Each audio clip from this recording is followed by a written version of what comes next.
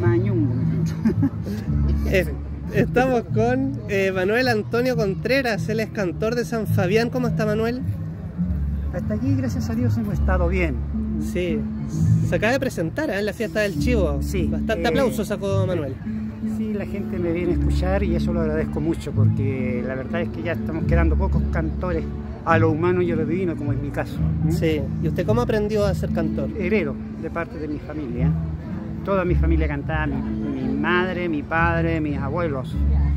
Entonces de ahí yo vengo con esto, desde la edad de 5 años y actualmente tengo 70. Wow, o sea, toca la guitarra, el guitarrón chileno. Sí, Sí, igual que Violeta Parra. porque igual que Violeta. harto. Ese es el estilo que a mí me gusta ¿eh? y ese es el estilo que cultivo.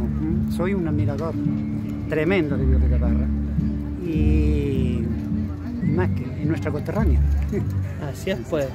Pensamos en alguien que nos está viendo en Arica. ¿Por qué tendría que venir a conocer San Fabián?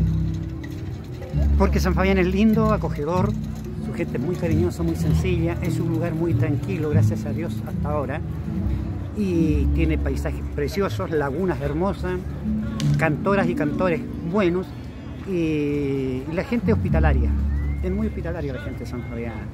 Y también para que sepan lo que es un buen asado de chivo. Bueno, pues ya lo probamos, eh, Sí. está súper bueno. Sí. Sí. Manuel, eh,